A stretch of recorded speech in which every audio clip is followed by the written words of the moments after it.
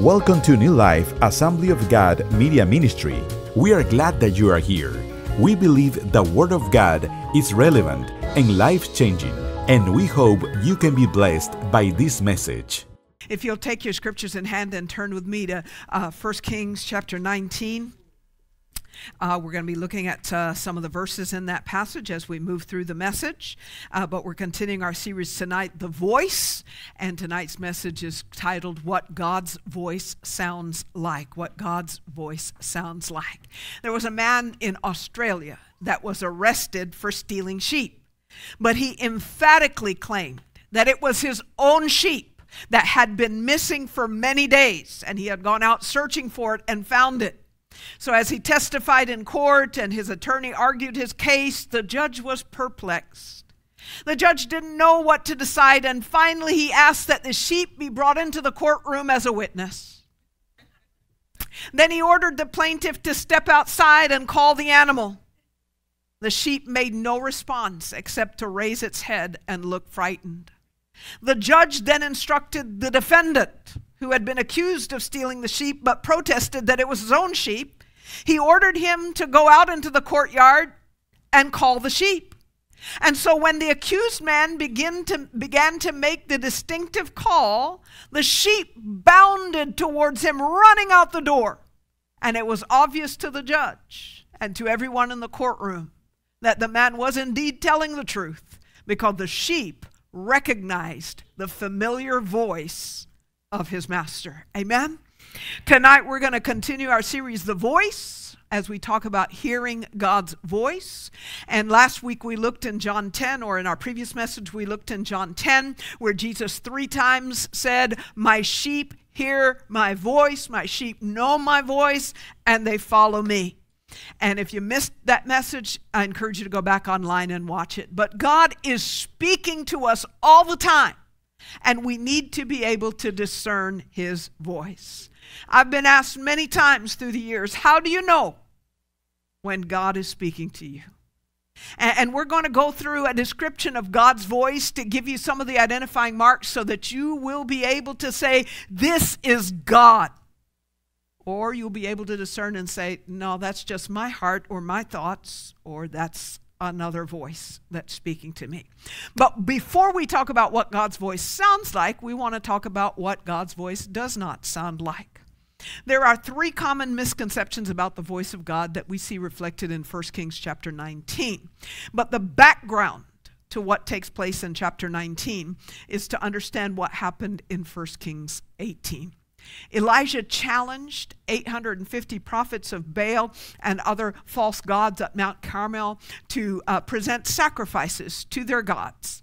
And he would offer a sacrifice unto Yahweh, the one true God of Israel. Excuse me.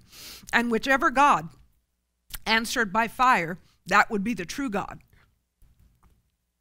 Make everybody thirsty tonight. Whichever God answered by fire, that would be the one true God, and all of Israel would worship him.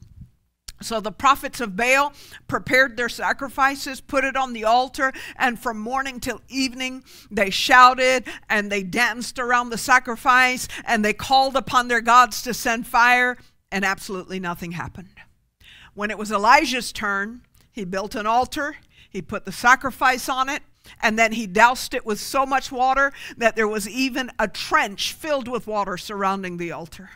And then Elijah prayed a short and simple prayer and called on God to send fire from heaven. He said, Oh Lord, answer me so these people will know that you, O Lord, are God and boom, the Lord sent fire from heaven. It burnt up the sacrifice on the altar. In fact, the fire was so intense that it burnt up the stones and it licked up all of the water. And Elijah had all 850 false prophets executed. But that did not make everyone happy. Wicked Queen Jeze, Jezebel, who was an idol worshiper and who had brought these prophets into the land of Israel, found out about what Elijah had done, and she sent a message to him threatening to kill him within 24 hours. So Elijah, facing a death sentence, takes off running. He runs almost 17 miles into the wilderness. And in 1 Kings 19 9, it says, There he came to a cave where he spent the night. But the Lord said to him, What are you doing here, Elijah? And this is what we're talking about, isn't it? The Lord said to him. We're talking about hearing the voice of the Lord. And Elijah's experience teaches us some very important lessons about hearing God's voice. First of all, God speaks to us in our need in the way that we need. He speaks to us in our need in the way that we need.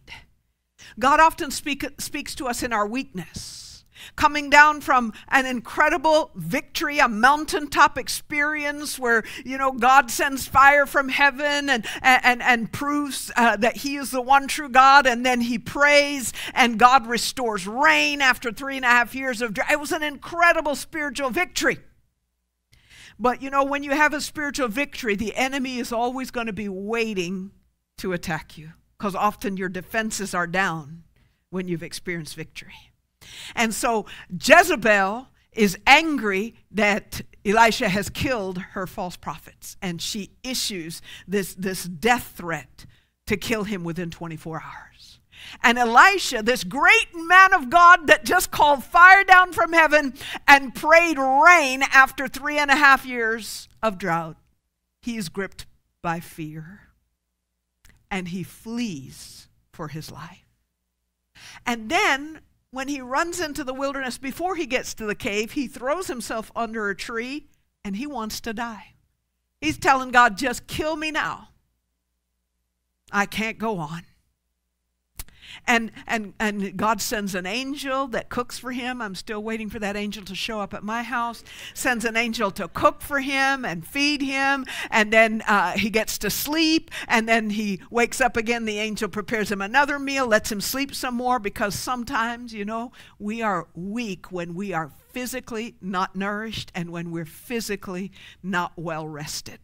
And God knows that we need those things in our life. Amen. And so that oftentimes those things can lead to depression, just like how Elisha was depressed in that moment. So God ministers to him physically, uh, allowing him to eat, allowing him to rest, etc. And then he after his rest, after he's eaten, he runs for 40 days and he ends up hiding in a cave on, in Mount Horeb. He's feeling all alone, isolated, and extremely discouraged. And Elijah is saying, God, I don't know what to do. I'm the only one left that has remained faithful to you. I feel so alone. And in the cave, when the quiet had calmed his soul, the Lord spoke to him. And sometimes it takes our circumstances causing us to feel the depth of our weakness and need to bring us to a place to be able to hear what God wants to say to us. Oftentimes, when we are riding high in spiritual victory, our soul is not in a disposition to hear from God. We might not even be seeking in those times to hear from God because life is good, everything is going our way, and we feel we've got it all under control. It is often in our weakness that God speaks to us. And God will speak to us in the way that we need. In first uh, in 1 Kings 19 verse 12 it says God spoke to Elijah in the sound of a gentle whisper or some versions say a still small voice. At Mount Sinai in Exodus 19, God spoke to Moses and Israel not in a still small voice, but in a loud, thunderous voice to impress on them a holy fear, a holy reverence for Him, because that's what they needed at that time. But He speaks to Elijah not in a thunderous voice, but in a gentle whisper. In this moment, Elijah was broken and discouraged. He didn't need a booming, thunderous voice. In his fragile condition, that probably would have overwhelmed him. What he needed was a tender, comforting voice that would communicate the gentle assurance of God's presence. So God spoke to him in his weakness in the way that Elijah needed to hear God's voice. As parents, you can probably identify because you have your reprimanding voice that you use for your kids when they have done something wrong. Or you're telling them to do something and they're not listening. And you have a particular tone of voice. My mother had a tone of voice, and we knew once she used that tone of voice, if we didn't straighten up and fly right, we knew what was coming next. Amen?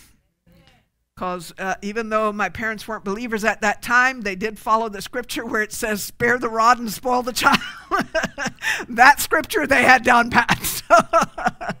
so we knew what was coming next once mom started using that reprimanding voice. And, and I know the parents here, you have your own reprimanding voice. But you also have a comforting voice when your kids are hurting or when they're fearful. And you determine which voice to use depending upon their need, upon the purpose of the moment. And God does likewise. So don't compare yourself to how God is speaking to someone else or has spoken to other people and think that because God didn't speak to you that way, God is not speaking at all. Sometimes we miss the voice of God because we are comparing ourselves to how someone else has heard God speak to them. God will speak to each one of us individually and uniquely according to our need. And God can speak in any way that He chooses. For Balaam, a stubborn, rebellious false prophet, God had to use a donkey to run him off the road and then finally, he used the donkey to speak to Balaam because Balaam really needed to know hey, you, you're being a real dummy, and I'm going to even use this donkey to tell you what you're doing. So God can speak in any way he chooses. He's never spoken to me through a donkey. But you know what? He speaks to me. So I can't compare myself to how he spoke to Balaam and say, because he didn't do that he's not speaking to me. Are you following? I know that's kind of a ludicrous illustration, but I hope it gets the point across. Just because God doesn't speak to you the way he spoke to somebody else doesn't mean that he is not speaking. Amen? God can speak in any way that he chooses, and he chooses the way that we need at the moment that we need it. At the moment that we need it. All right? Secondly, God sometimes speaks in the spectacular but most often God speaks in the simple. Read with me, if you will, 1 Kings 19, verses 11 and 12.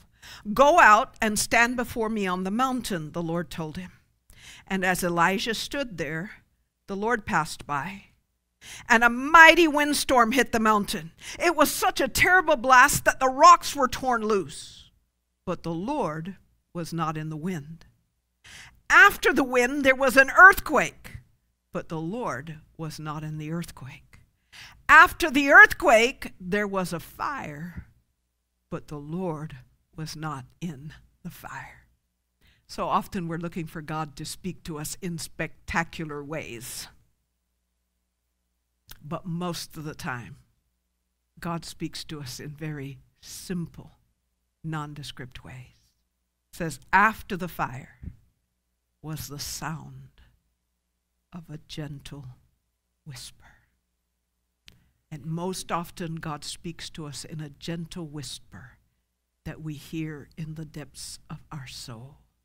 Not a booming, audible voice, but a gentle whisper in our soul. But too often we miss God speaking to us because we're looking for God to speak to us in the spectacular. We expect there to be a mighty wind or, or the ground to shake or a loud voice to come from heaven. And God may speak in that way sometimes. Ezekiel described the voice of God as rushing waters. In Revelation 1:15 John said his voice thundered like mighty ocean waves. At Mount Sinai, God answered Moses with thunder. And God's voice is also described in Scripture like the sound of a trumpet. And we listen to that and we say, man, I would love to hear God's voice like that a mighty thunder, a trumpet sound. Then I would know for sure that it was God speaking. But when God spoke with the sound of a trumpet and thunder at Mount Sinai, the people were filled with fear and they begged God to stop speaking to them. And they said, Moses, you go up on the mountain and you hear from God, and you come back and tell us what God has to say.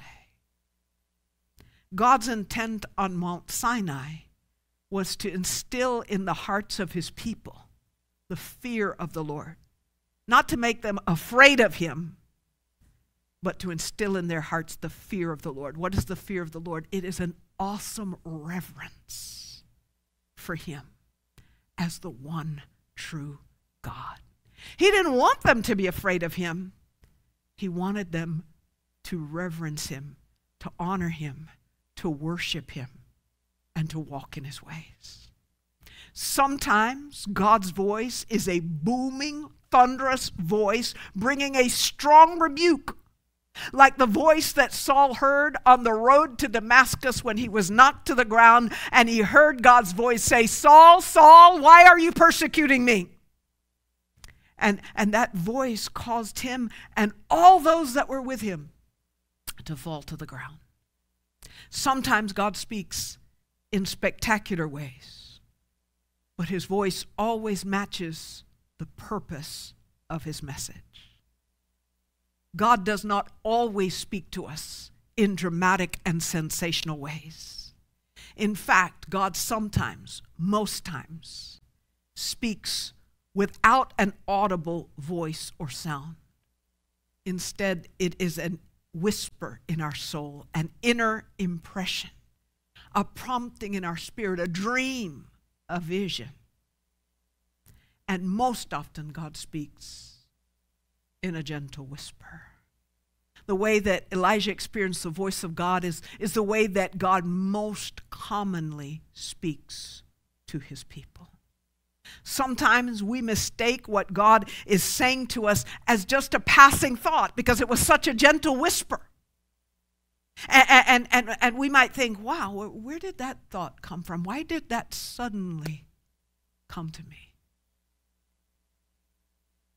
a few days ago, I was at home and I was, since I've had some time off, I've been trying to organize my house and do some cleaning and getting rid of some stuff and what have you. And so I was in the process of doing that. And I just heard in my spirit the song, You Are My Hiding Place. And I hadn't heard that song or sang that song in a long time. And I said, You know what? I'm going to pull that up on my uh, um, Prime Music app and, and I'm going to listen to that. And as it was playing, I received a disturbing phone call that really is about someone in my family, and it just really grieved and burdened my heart. But there was that song playing as I was talking on the phone, saying, You are my hiding place. You know, that was just a whisper. And when that whisper came, I said, Why am I thinking about that song? But you know what? I'm going to play it, I'm going to put it on. And I believe that that was God preparing me for that call and to let me know that He is my hiding place. Amen. So don't dismiss those gentle whispers that come like a thought out of nowhere. I believe that we need to, to be trained to recognize His gentle whisper, or we can miss the fact that God is speaking to us. I believe that God is talking to us a whole lot more than we are hearing. Because either we are not listening or we just don't know how to recognize his voice.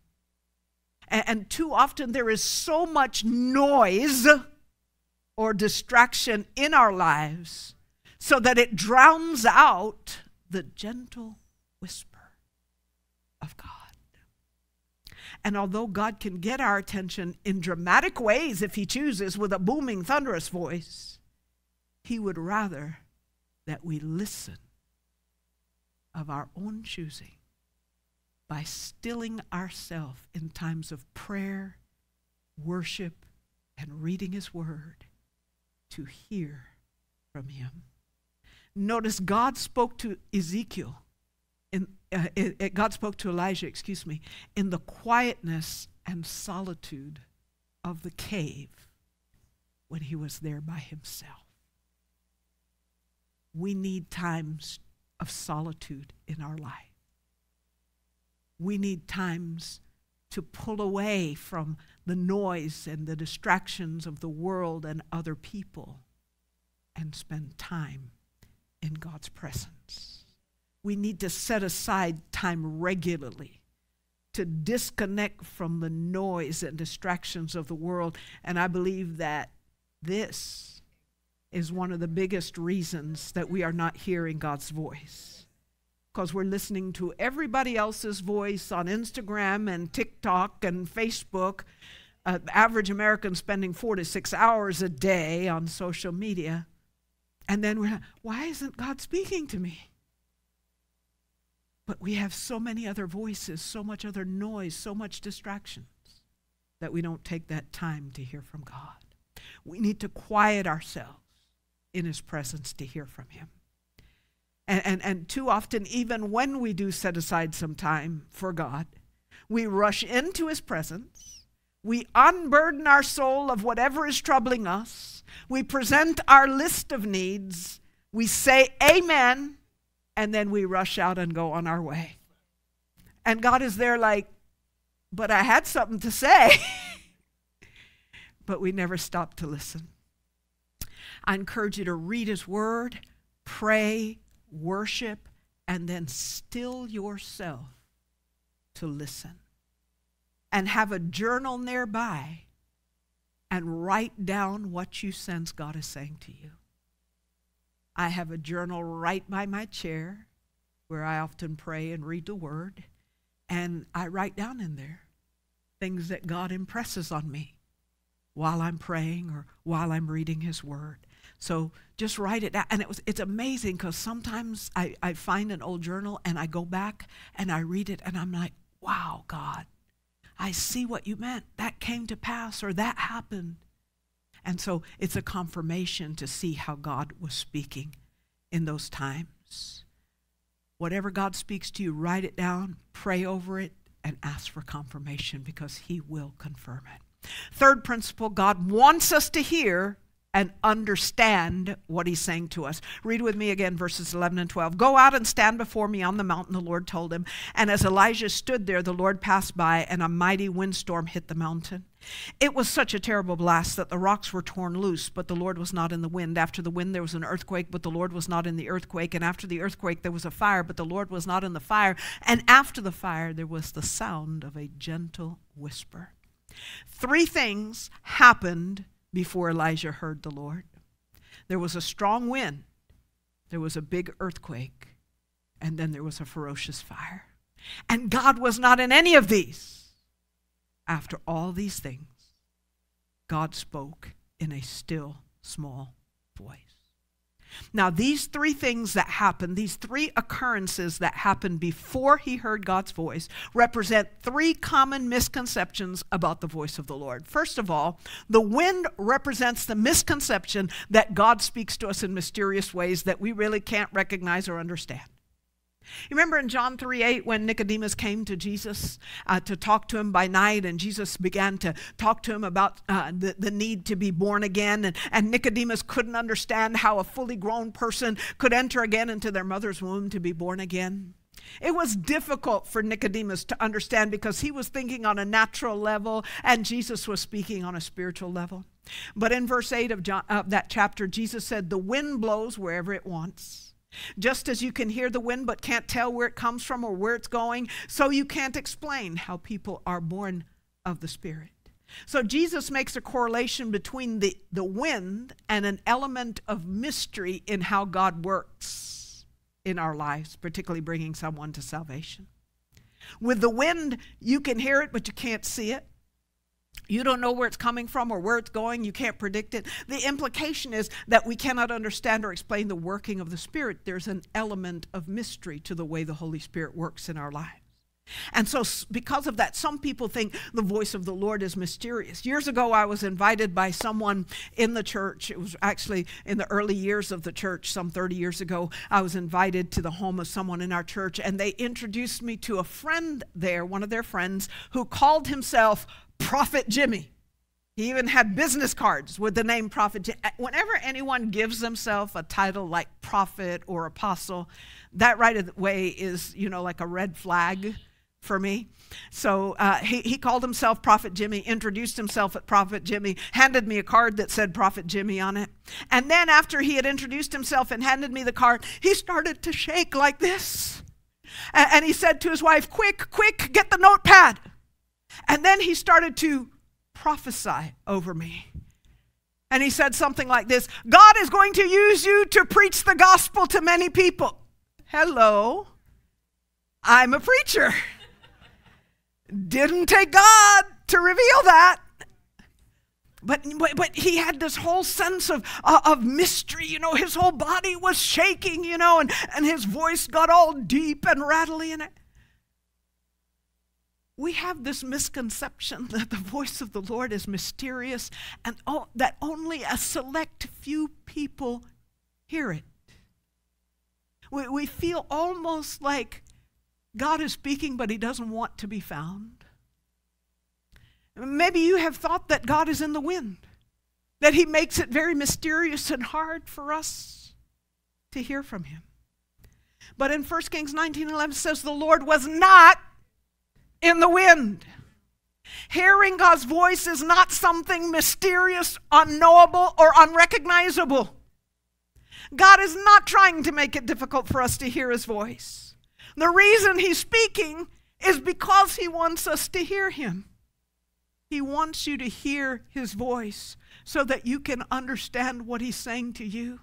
He is not trying to be mysterious or hard to find.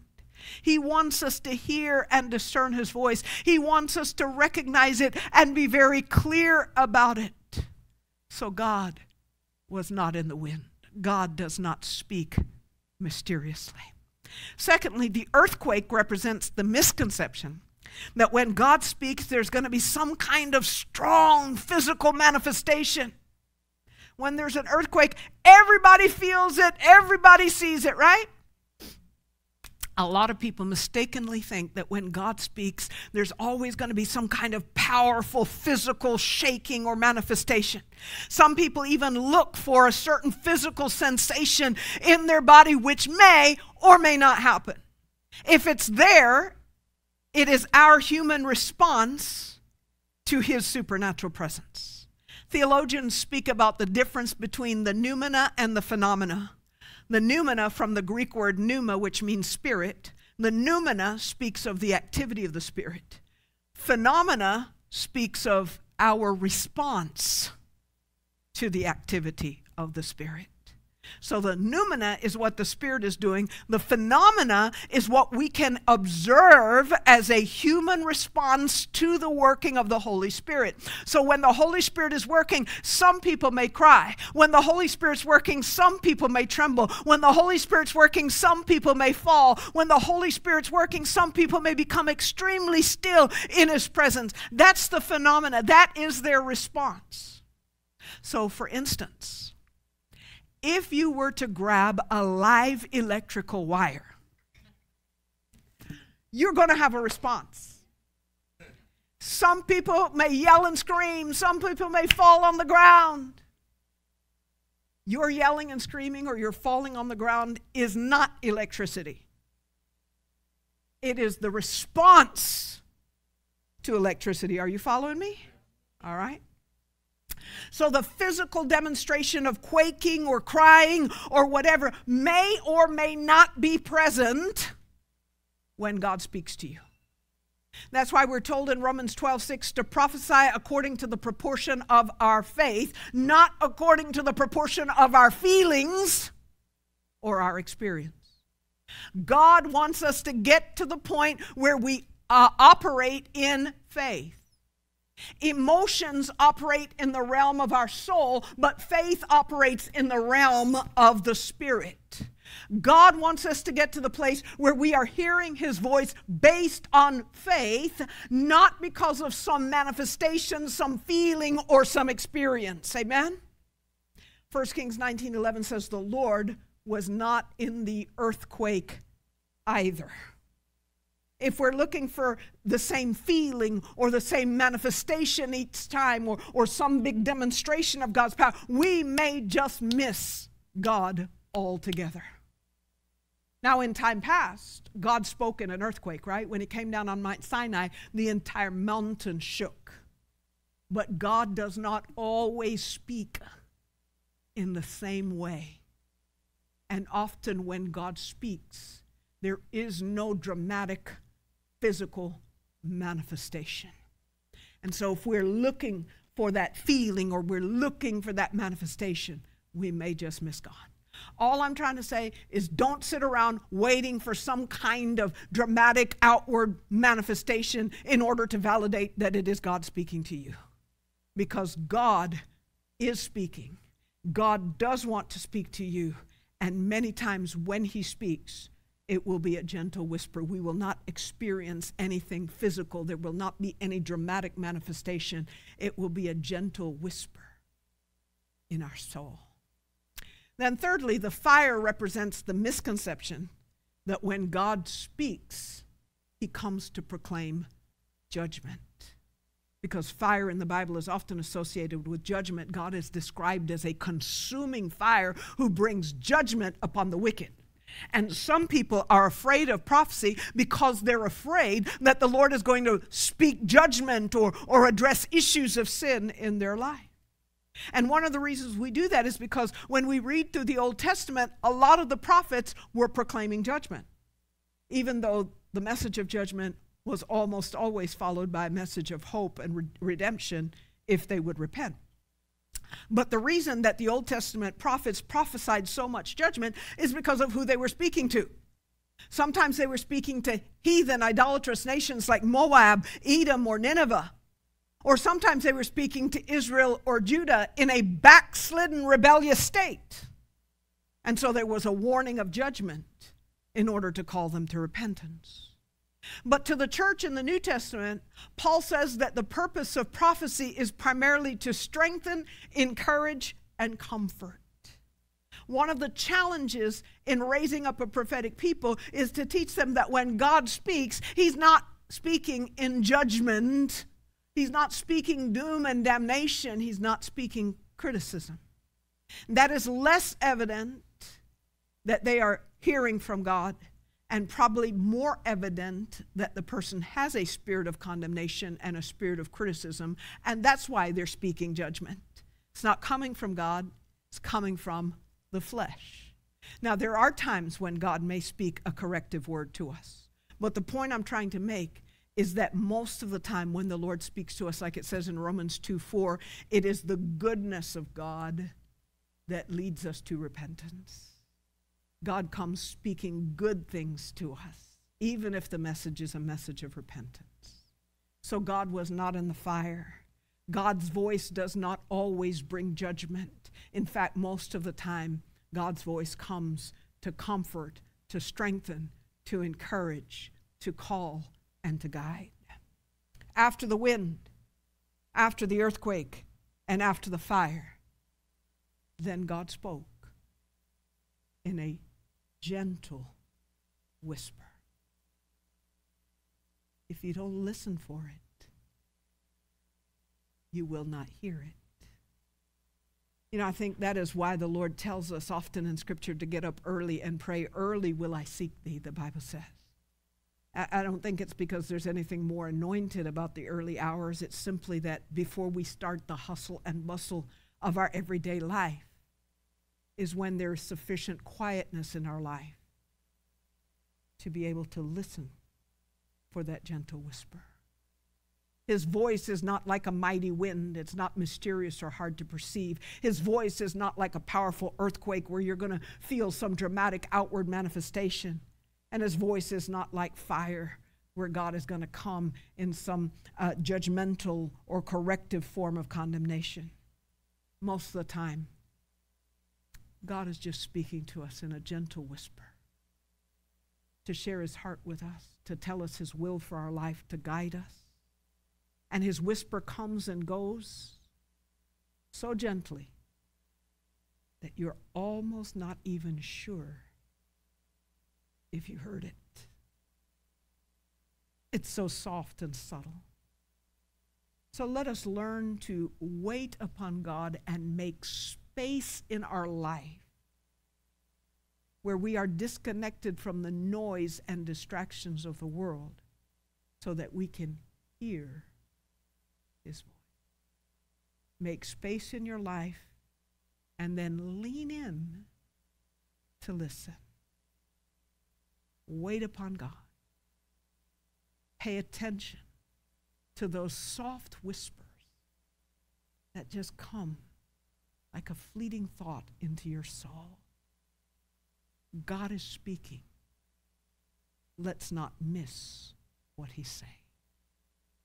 So, tonight, as we close this message, let's make a commitment to make space in our life where we disconnect from the noise and distractions of the world and we lean in to hear his voice. And let's say, Lord, teach me to listen. If that's your heart, just speak that in prayer to the Lord right now. Heavenly Father, we just come before you right now, and we are so very grateful that you're a God who reveals himself, that you're a God who is continually speaking to us making yourself and making your will and your way known to us. Thank you, Lord, that you want us to hear your voice. And Father, I pray that every single one of us would make a commitment tonight to make space in our life where we disconnect from the noise and distractions of this world and we quiet ourselves and we put ourselves in a posture where we lean in in stillness to listen your voice. Teach us to listen so that we recognize those gentle whispers that come almost as a fleeting thought through our soul and that we do not dismiss them, Lord but that we pay attention to what you are saying. Teach us, Lord, to hear your voice. In Jesus' name we pray. Amen. Amen. God bless you. We love you. We will see you on Sunday. Thank you for joining us today. If you were blessed by this message, would you consider giving a gift to help support our ministry? You can text any amount to 844 723 4904. That's 844 723 4904. Thank you, and we hope you'll join us again.